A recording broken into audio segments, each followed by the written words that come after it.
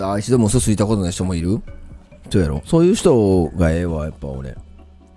なんていうかな嘘つくことが悪いんじゃないねん。嘘をつつこうとする気持ちがねわかる？嘘をつくこと自体はの行為自体を俺は咎めてるのではない。嘘をつこうという気持ちが目。だから人を騙そうって。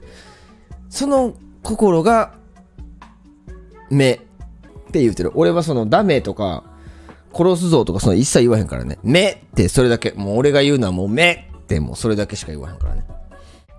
これはもうもう一教会のあのー、掟やからそれは。教祖は嘘つきなのに？せや？教祖なんか全員嘘つきや。なんやねんそれの。